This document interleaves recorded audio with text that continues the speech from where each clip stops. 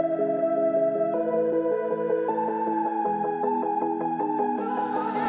shut me down, you lock me out. You do the things I hate about you. At the end of it all, I'm still here.